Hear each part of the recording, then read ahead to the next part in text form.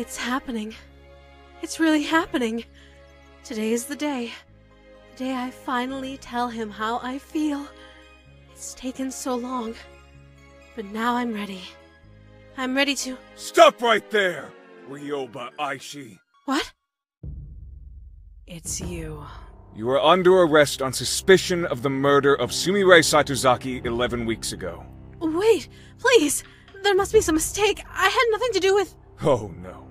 You're not going to sweet talk your way out of this one. Your innocent schoolgirl act won't save you this time. What evidence do you even have? I've been questioning your classmates over the past couple of months. They've noticed a pattern in your behavior. That boy over there, the one under the tree. You've shown a keen interest in any girl who developed feelings for him. And from what I've heard, you've been doing everything in your power to keep girls away from him. What's happening here is obvious. You're eliminating any girl who tries to take that boy away from you. And Sumire was your first victim. No! I would never hurt anyone! I swear! I'm innocent! You have to believe me! Save it for the judge. Cuff her, boys.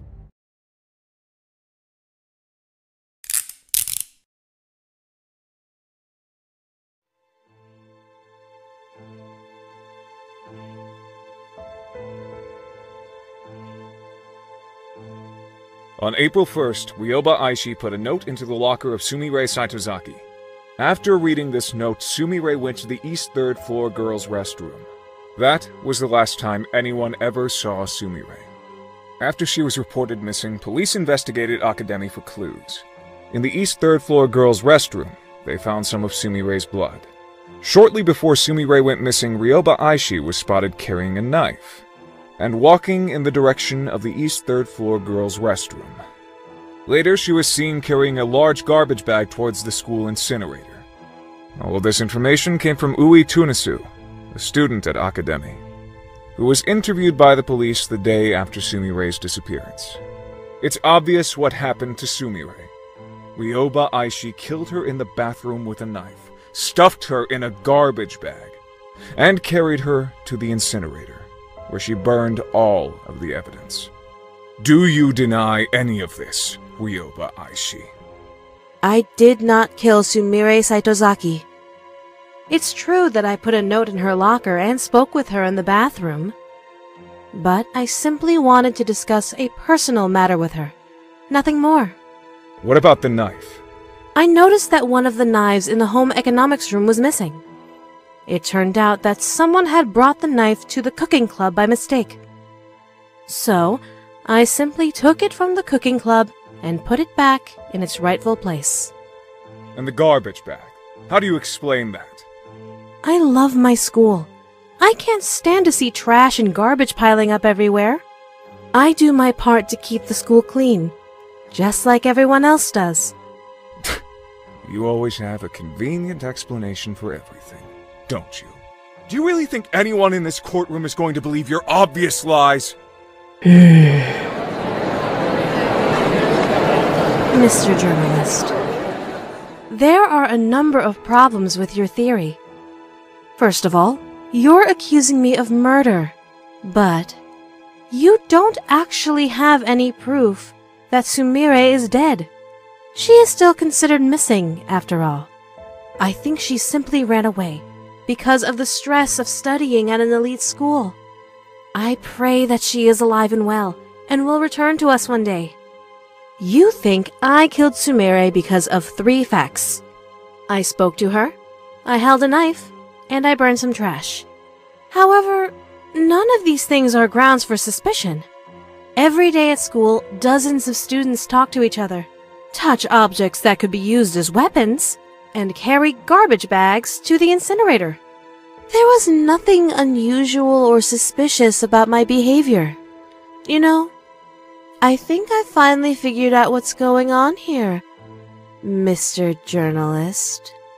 Your apprentice, Sonoko Sakanoe, became a celebrity after she stopped a killer. You're desperate to pin a crime on me because you want to be a celebrity too.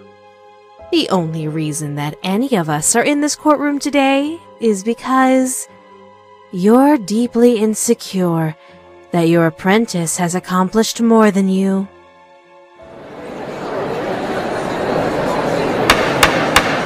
Order! Order in the court! It's true that there is no smoking gun evidence linking you directly to a murder. However, with that said, over the past 11 weeks, you have demonstrated behavior that is suspicious, if not outright incriminating. Your classmates have testified that you've been stalking a certain boy at school, following him when he goes shopping, following him when he walks home. By all accounts, you're absolutely obsessed with this boy. Furthermore, every time a girl begins to show signs of interest in him, something always happens that removes the girl from his life.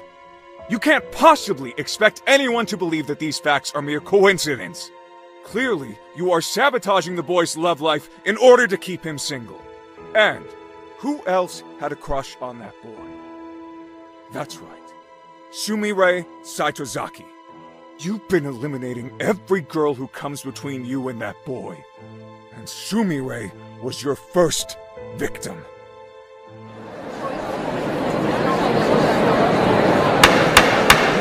Order! I said order! Enough conjecture. Let's go over the facts.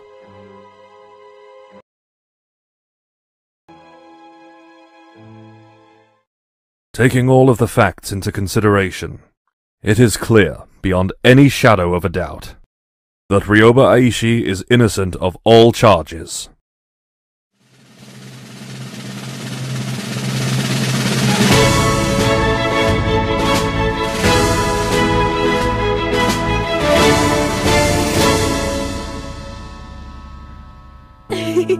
Ha ha ha ha!